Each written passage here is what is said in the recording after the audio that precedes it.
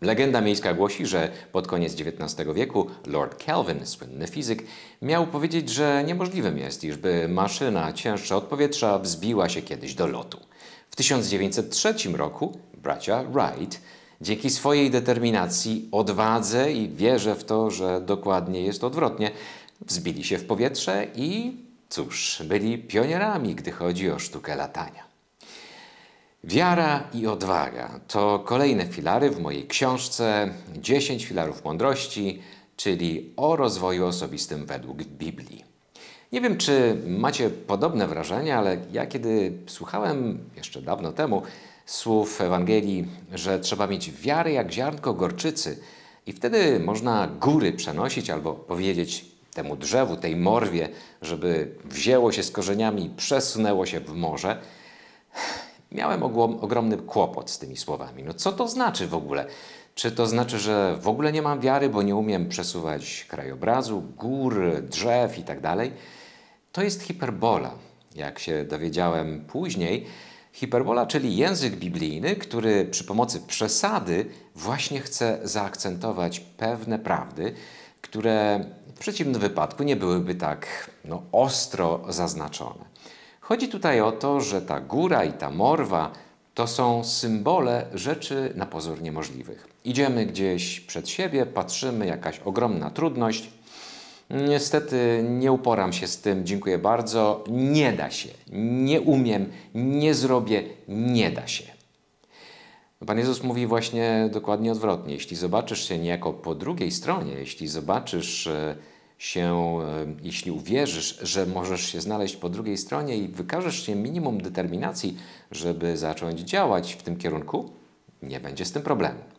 Pamiętam, że kiedyś, dawno temu, kiedy jeszcze pracowałem w bursie akademickiej, powiedziałem młodzieży w maju pamiętnego roku, że za rok chciałbym ich zabrać do Ziemi Świętej. To nie była zamożna młodzież, a taki wyjazd kojarzył się wszystkim z wielkim wydatkiem.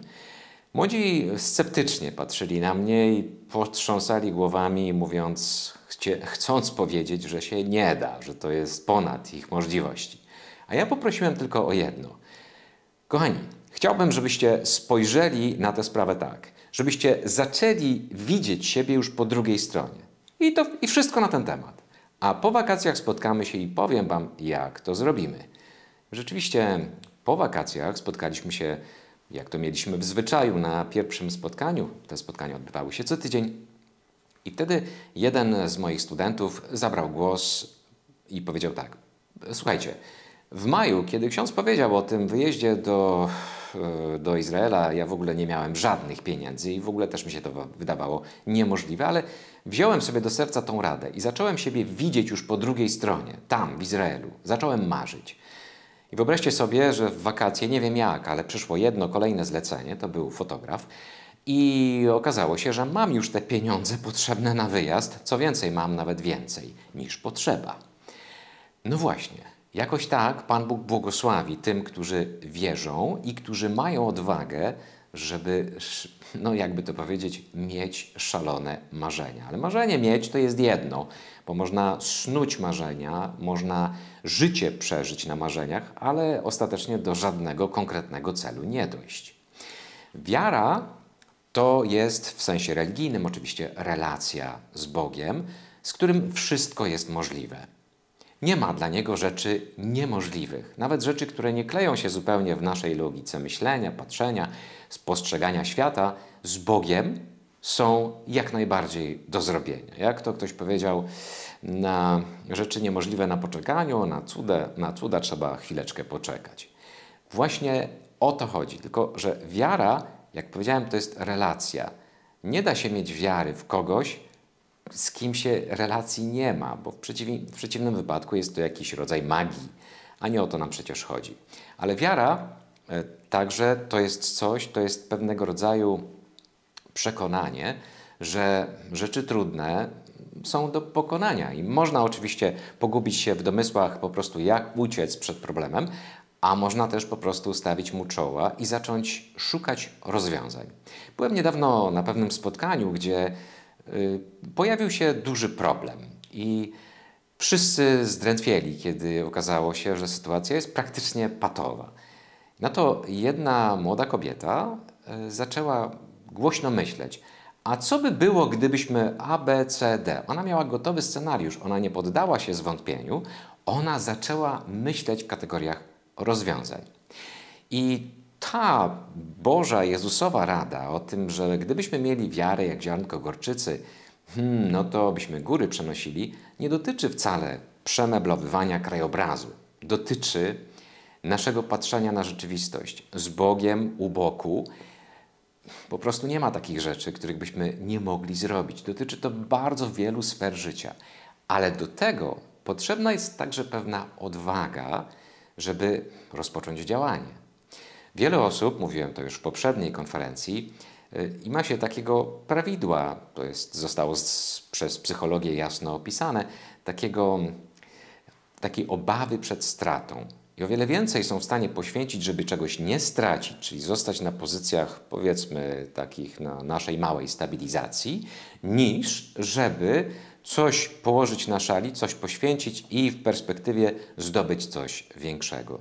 I dlatego właśnie będą może całe życie na kanapie, będą czegoś szukać w telewizorze, może w książkach i tak dalej, będą snuć jakieś marzenia, ale nigdy nie dojdą do celu, ponieważ może i mają wiarę, ale zabrakło odwagi.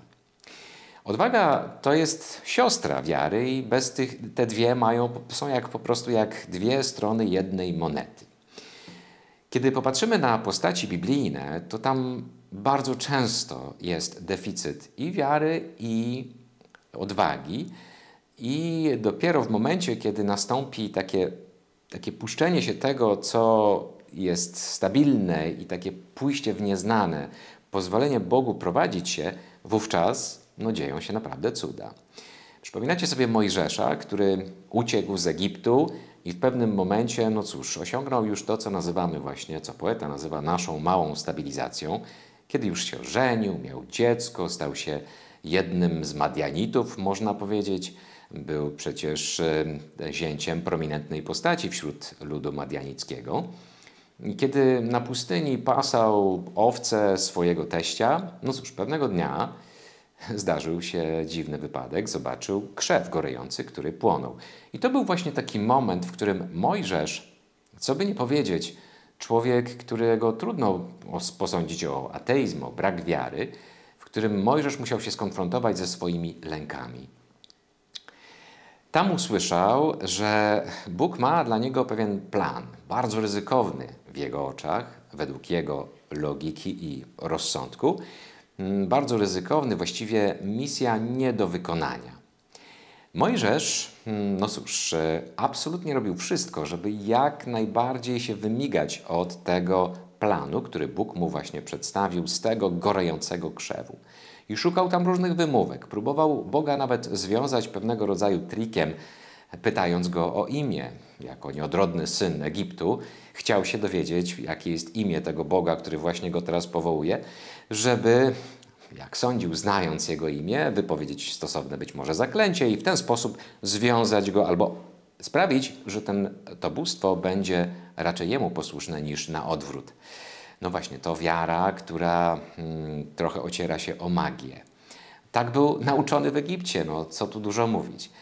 Jednocześnie piętrzy trudności, ale tu ja nie umiem mówić, ale to hmm, oni mnie wyśmieją, ale hmm, hmm co be... Spokojnie, Bóg rozwiązuje je wszystkie jak za przecięciem węzła gordyjskiego. Okazuje się, że Mojżesz po prostu idzie w nieznane, porzuca tę swoją małą stabilizację i okazuje się, że jest to przygoda życia. Ale potrzeba było tego minimum odwagi, oczywiście wiary, relacji, która systematycznie w nim dojrzewała, tej relacji do Boga. No, Mojżesz był w końcu ostatecznie, tak się wyrobił, że był tytanem wiary. No ale też odwagi mu nie brakowało, a przeciwności co niemiara. Okazuje się, że tylko wtedy życie ma smak, kiedy człowiek Mm, zabiera się za rozwiązywanie trudności właśnie z tą wiarą, że się da i z tą odwagą, że trzeba działać. Można by te przykłady mnożyć w Biblii. Jednym z takich bardzo ciekawych jest postać Abrahama. Pamiętacie, że Mm, w Księdze Rodzaju słyszymy, że ze swoim ojcem, Terachem i z całą rodziną wyszli z Ur, jak to precyzuje autor natchniony chaldejskiego. I potem trafili do Haranu, do dzisiejszej Syrii. I no cóż, dopiero trzeba było czekać na to, tam się osiedlili, trzeba było czekać na to, aż Terach umrze, żeby rzeczywiście Abram podjął wyzwanie. Można powiedzieć, że trochę żył w cieniu ojca. No, jak to w starożytności, trudno było się ojcu sprzeciwić. Można powiedzieć jednak, że dopiero w momencie, kiedy Terach umiera, chociaż niektórzy bibliści nie zgodziliby się z takim postawieniem sprawy, bo y, mówią, że to wyjście z Haranu było jeszcze za życia Teracha. No ale powiedzmy, że moim zdaniem tekst mówi jasno, że kiedy umarł Terach, Abram, można powiedzieć, rozwija skrzydła. Czasem jest tak, że relacje z rodzicami to jest taki, taki excuse, taka wymówka, żeby nie działać. Rodzice nauczyli nas, że wiele rzeczy rozwiązują za nas i jest bardzo wielu takich dorosłych ludzi, którzy nauczyli się polegać na rodzicach w sposób toksyczny.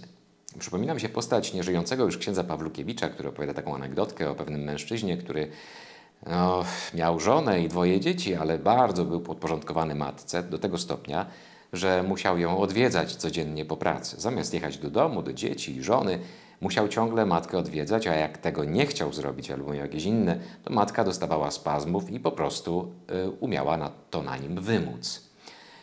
I e, czuł się już bardzo źle, bo relacje rodzinne zaczęły się pogarszać. Wobec tego zapytał Pawlukiewicza, akurat tak się złożyło, o radę, co on powinien zrobić. Pawlukiewicz powiedział mu tak: Trzeba się modlić o zejście mamusi.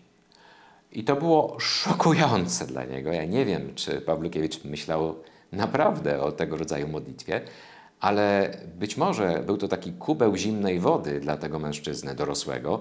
Jeśli ty, jako dorosły facet, nie umiesz się ogarnąć i przeciąć tej nici, która jest toksyczna, ja nie mówię, żeby porzucić matkę, ale przeciąć tę toksyczną nić, która cię uzależnia od rodzicielki, co się odbija na twojej rodzinie, jeśli ty tego nie umiesz zrobić, no to chwileczkę, to kto ma za ciebie to zrobić? To ty dorośnij wreszcie. Być może ta szokująca terapia wprowadziła zupełnie nowy ład w życie tego człowieka. W każdym razie jest pewne, że Abram, no właśnie kiedy tata zmarł, on wychodzi jakby, żeby dopełnić dzieła z tej ziemi dalekiej, gdzieś tam w Mezopotamii, idzie do ziemi obiecanej. Ale uwaga, okazuje się, że ta obiecana mu ziemia to nie jest jakiś taki łatwy kąsek, gdzie on przychodzi, się osiedla i wszyscy witają go chlebem i solą. No nie, tam jest mnóstwo trudności. Czyli yy, rozwija się w nim ta wiara w tego Boga, któremu ufa bezgranicznie. Pamiętamy tą scenę z ofiarowaniem Izaaka do, do tego stopnia, że no, do, do dzisiaj jest to dla nas szokujące, że Bóg po pierwsze mógł o to poprosić, a po drugie, że Abram chciał na to pójść. Ale to jest właśnie taki, no, w ustach czy, czy, czy w tekście autora biblijnego to jest taki jakby najwyższy poziom zaufania ze strony, ze strony Abrama, najwyższy poziom wiary. Ale jednocześnie Abram systematycznie e, swoją odwagę kształtował, no bo co tu dużo mówić, no wyzwań mu nie brakowało. A to susza, a to głód, a to źli sąsiedzi, a to inne różne wyzwania. Do tego trzeba było mieć odwagi. On nie siedział w kącie i nie płakał, mówiąc: Ojejku, miało być tak fajnie, a przecież miała być ta ziemia obiecana, a tutaj tyle trudności. Podobnie było z prorokami. Właściwie no, chyba taki najbardziej wyrazisty przykład to jest Jeremiasz. Jeremiasz, który nie chciał być prorokiem. Zresztą, który z nich chciał? No Jeremiasz jeszcze miał wymówkę taką, że jest młody. Boję się, że nikt nie będzie mnie słuchał. No to przecież mm, no, brzmi to dobrze. Jest to logiczne? Oczywiście. Młody człowiek, kto będzie chciał słuchać takiego nieopierzonego, niedoświadczonego kogoś? A tymczasem Bóg mówi, dobrze, jesteś niekompetentny Twoim zdaniem? Super. To właśnie do, dowodzi, że najbardziej mi się przydasz. Zobaczcie, ilu tam tchórzy tak po ludzku w tych e, różnych opowiadaniach biblijnych, którzy stali się herosami wiary, dlatego że, można powiedzieć, rzucono ich na głęboką wodę. E, mieli już ten zaczyn relacji zwanej wiarą, ale potrzeba było odwagi. Oni zdobyli się na tą odwagę i działy się naprawdę cuda. Jeremiasz nie był szczęśliwym prorokiem. No cóż, e, cały czas miał podgórkę, cały czas pod prąd. Ale nawet wtedy, kiedy mówi, Tyś mnie uwiódł, a ja dałem się uwieść, w rozdziale 20, to przebija z tego taka wiara, że jest sens z tego cierpienia, które postanowił rzucić na szale. Z tej odwagi, która polegała na tym, że, że umiał powiedzieć wbrew tym, tym obiegowym przekonaniom, że umiał postawić się tym wszystkim, którzy mówili: Dobrze, słuchajcie, będzie wszystko fajnie, nie ma żadnego zagrożenia. Nikt tu nie przyjdzie, żadna powódź, żaden wróg, nikt tu nie przyjdzie spokojnie róbmy swoje, mamy tutaj świątynię pańską, nic nam się nie wydarzy. Jeremiasz mówi, nie wycierajcie sobie ust świątynią pańską, bo jak się nie nawrócicie, to wszyscy zginiecie. Oczywiście, że to było niepozytywne myślenie, ktoś powiedziałby, ale jako prorok on nie mógł inaczej. I właśnie od proroka, no co tu dużo mówić, trzeba było wymagać takiej odwagi. Ale była wtedy cała rzesza innych proroków, którzy takiej odwagi nie mieli. Mówili władcy i wszystkim to, co tamci chcieli usłyszeć. I to było właśnie wielkie tchórzostwo. Jeremiasz miał odwagę mówić prawdę, no i niestety cierpiał z tego powodu, ale warto było. Myślę sobie, że wracając jeszcze do wątku tej góry, która wydaje się nas przytłacza i nie będzie dobrze, E, to jest sytuacja do przełożenia w wielu różnych e, sprawach życia codziennego, na przykład w pracy. Ktoś ma jakiegoś niepopularnego szefa, najdelikatniej mówiąc, który stosuje mobbing, no tak czy inaczej.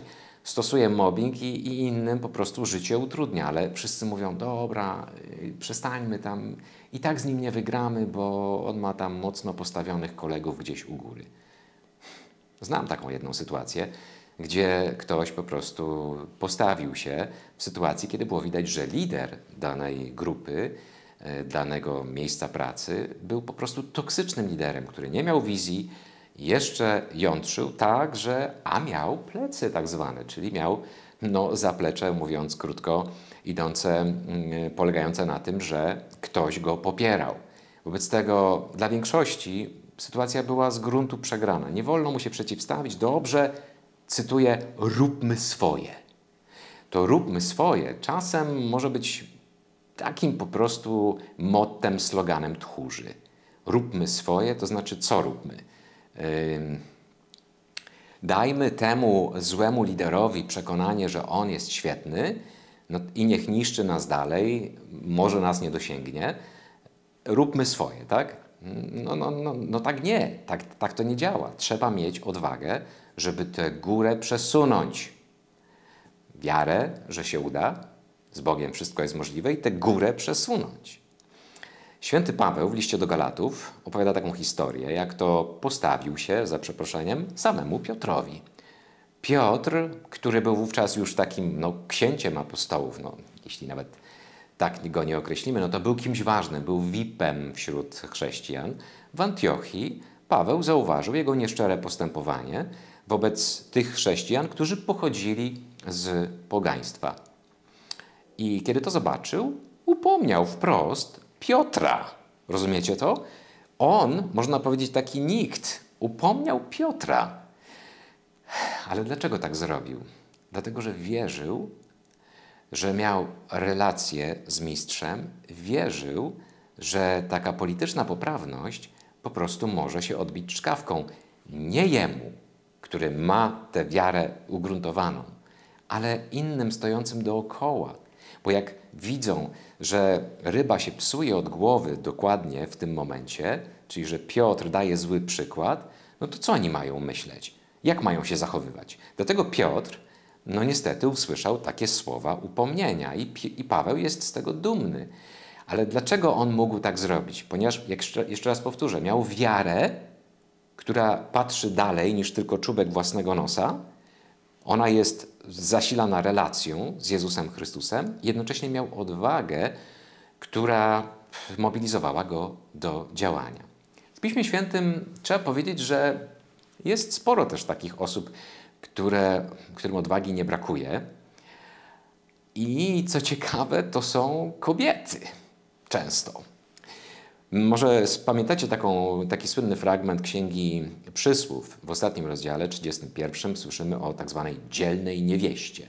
Eshet Hail, dzielna niewiasta. To jest pewna alegoria mądrości, ale jednocześnie coś do zaaplikowania do kobiety. Kobiety mają w sobie, chyba zaryzykuję takie twierdzenie, czasem więcej odwagi niż mężczyźni.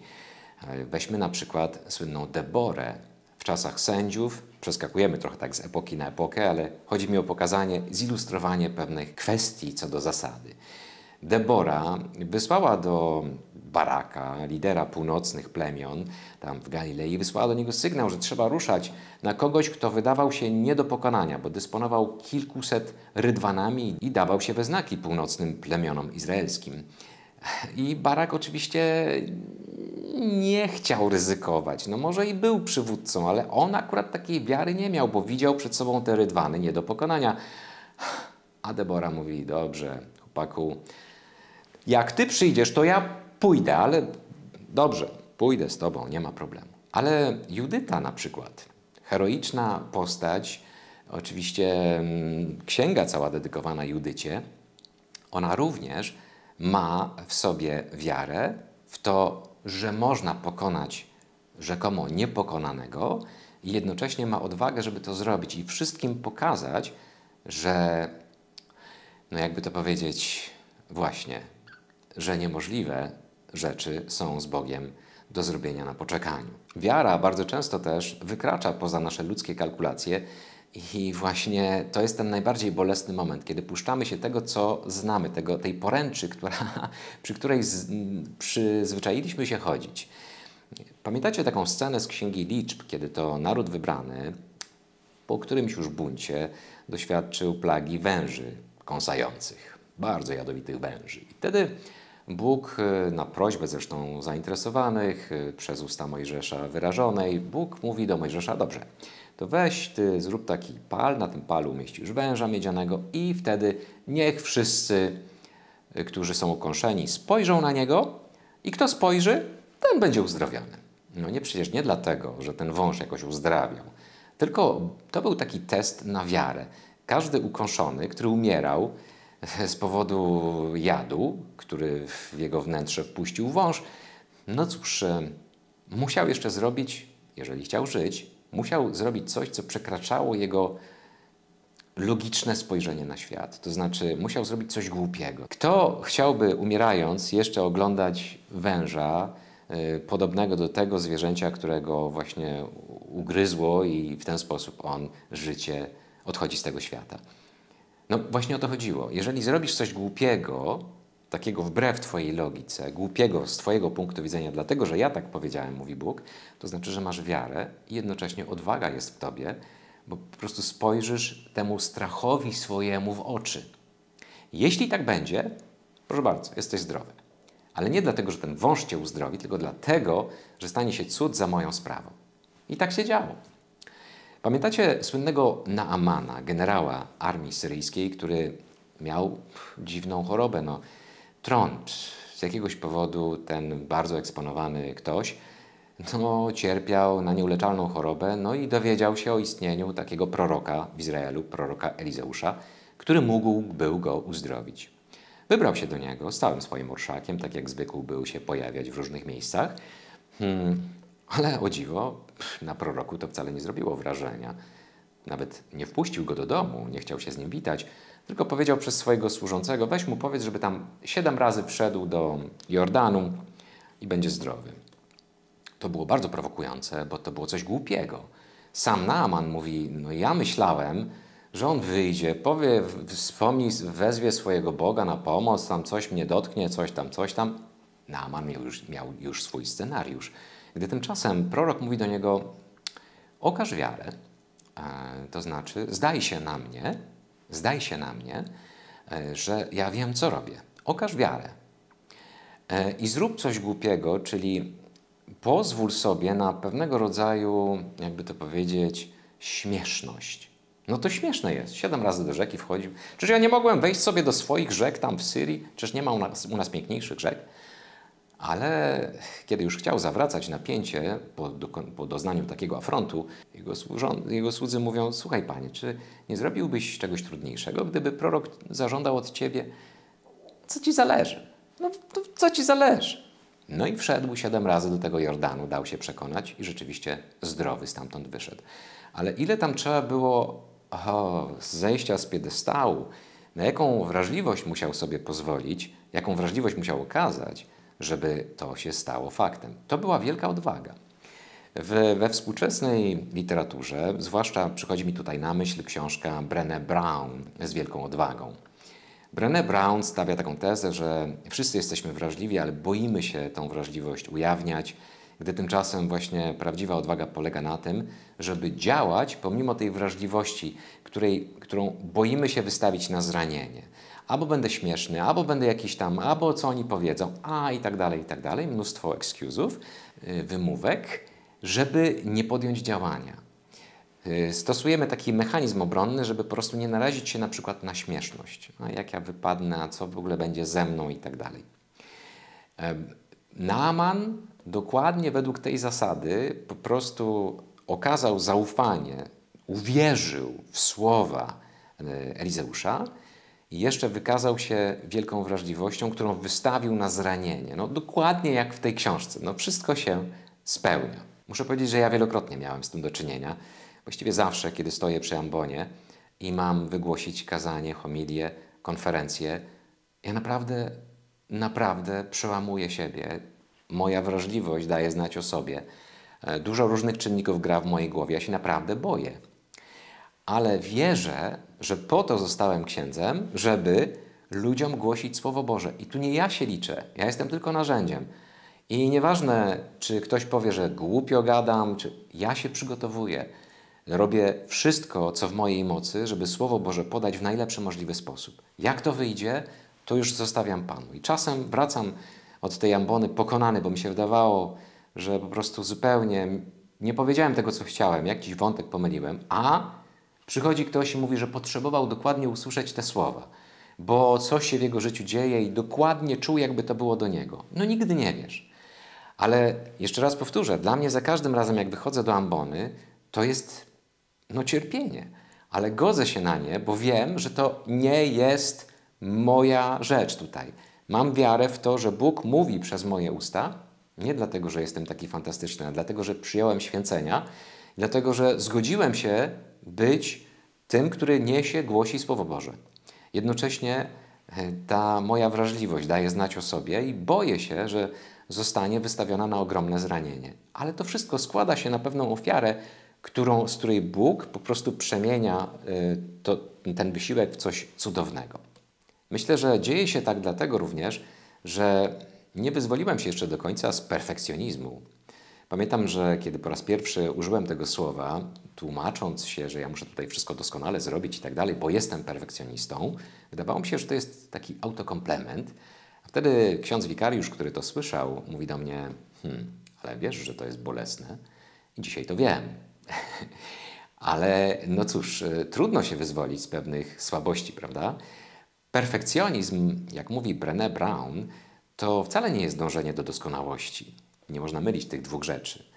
Y, perfekcjonizm to jest pewnego rodzaju strategia, pewna zbroja, którą przyjmujemy na siebie po to, żeby uniknąć cierpienia, żeby uniknąć śmieszności. Czyli ja, jak ja wszystko dobrze doskonale wykonam, jak wszystko będzie perfekcyjnie zrobione, to nikt nie będzie mógł mnie zranić, bo nikt się nie będzie mógł przyczepić.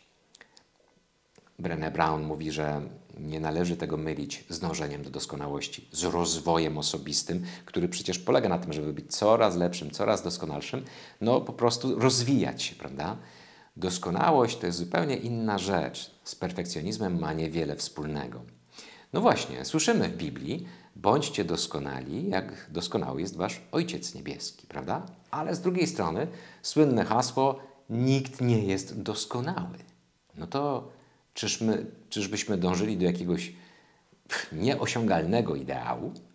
Otóż rozumienie doskonałości w Biblii jest trochę inne niż w takim potocznym naszym znaczeniu, mm, wywodzącym się jeszcze od Arystotelesa przecież.